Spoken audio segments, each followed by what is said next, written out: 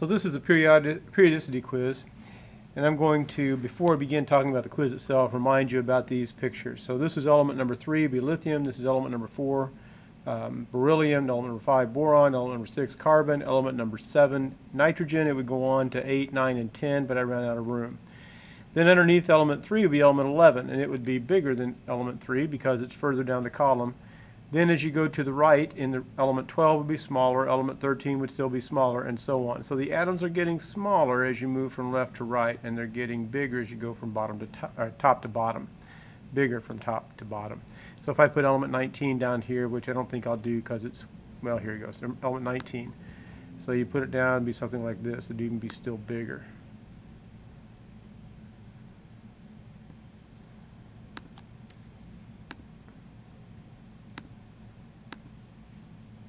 We'll put it right over here where it fits better.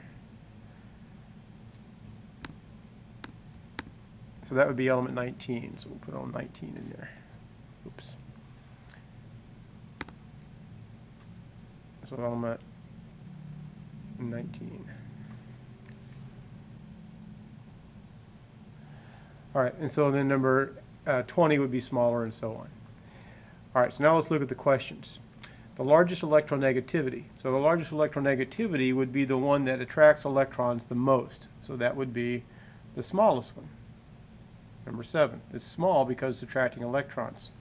Electronegativity increases until you get uh, to number 10, which is neon, and the noble gases won't have an electronegativity because they don't make chemical bonds. So the highest electronegativity element will be element 9. Of these elements, we've got bromine, fluorine, iodine, and chlorine. If you look at the periodic table, bromine, fluorine, iodine, and chlorine are all right here in this column. So we're looking at the trend as you go up and down. So as you go up and down, the atoms are getting bigger. Now we just said that they're bigger, they don't pull on their electrons as much. So the biggest element here would be 19. The smallest element of these would be 3. Well, bromine, fluorine, iodine, and chlorine are not over there with 3 and 11. But the same pattern exists over here. As you go down, the atoms get bigger. Okay, so the most electronegative element would be the smallest, and that would be fluorine. So the answer number one was A. No, was B, sorry, fluorine.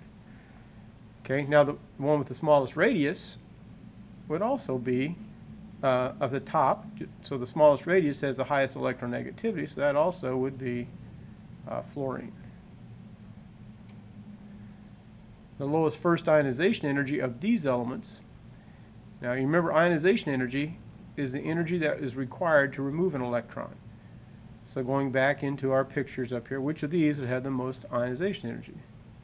Well, be the smallest one, because that's the one that's going to be holding its electrons the tightest. So the higher ionization energy means a smaller atom. Let's come back down to these. Which one is, this, is the smallest? Element A, B, C, or D? So that'd be element B there, element B, right here. Which one has the largest radius? Nitrogen, neon, boron, or lithium? Now that's 3, 5, 7, and 10. So go back to your picture at the top of the page I drew. Here's 3, 5, 7, 10 will be over here. So which is the smallest? That's going to be 10. So number 10 is uh, neon. Number 5, cations our blank have a, have a charge. I want you to notice that cations have a T in them right there. A T looks like a plus sign. So that's going to help you remember that cations uh, have a plus charge. They're positive. And if they are plus, they lose electrons, so they're going to get smaller. So the correct answer there would be that um, cations are positive with a smaller charge or excuse me, it's positive with a smaller size. And now going to number six, the most active metals. Now remember, metals are active when they lose. Whoops, when just had, it's, it's an N, not an M.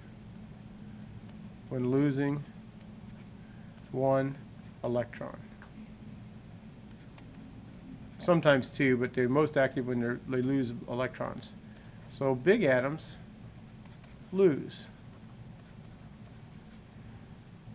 so where are the biggest atoms that are metals? Now go back up here to our picture. Remember, you start at the top, they get bigger as you go down. So of these three, the most active would be element 19, which is potassium. And even if I add the next element underneath that, it would be bigger and bigger. So the biggest, most active metals are going to be in the lower left-hand corner, the lower left corner.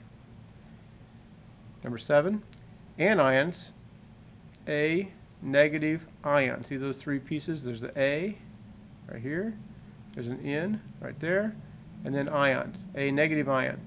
So they have a negative charge.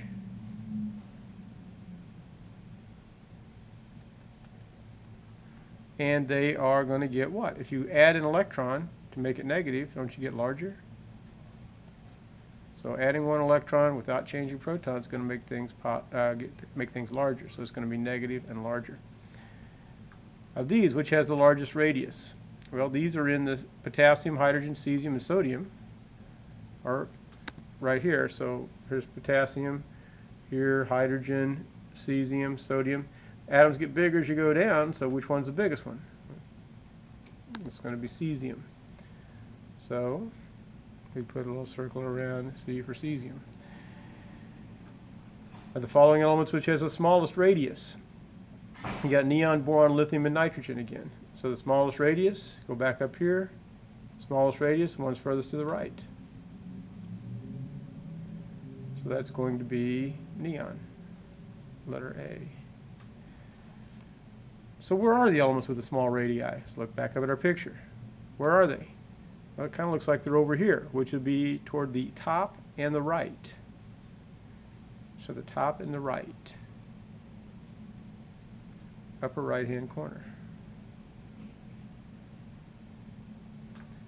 The energy required to remove an electron, that's just a definition you have to know, that's ionization energy. All right, given chlorine, which is bromine, here's a periodic table. Here's chlorine over here, bromine right below, which is bigger. Looks to me like bromine would be bigger because it's further down.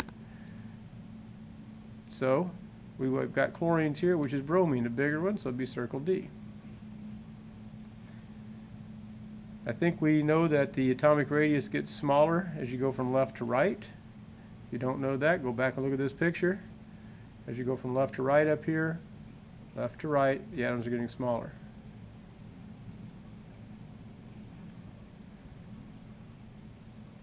Given the chlorine atom, which would be a chloride ion neg Cl minus. So Cl minus means you've gained an electron. So if you gain an electron, you should get bigger. So the correct answer would be circle D.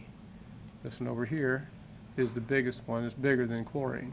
Because you gain an electron, you get bigger.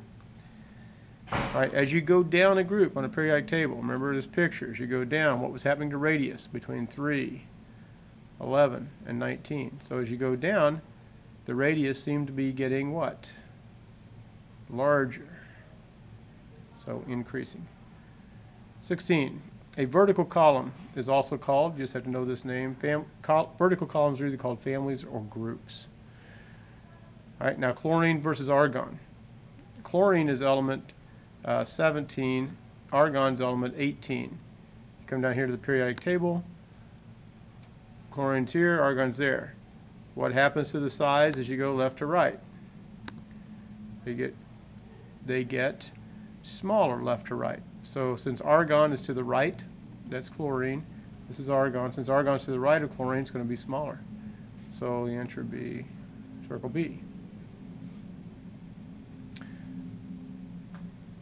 Sulfur, however, is on the left side. So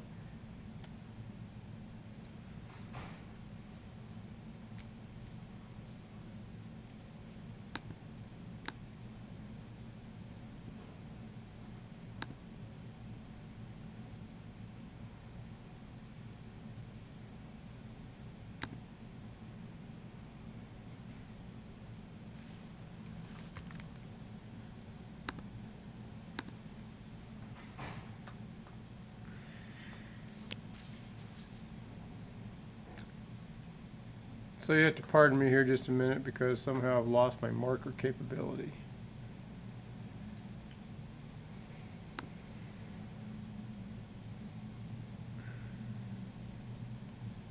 All right, so I'm gonna stop the movie here, we'll post this part, and then I'll come back and finish the rest of it while I figure out how to get my pencil back.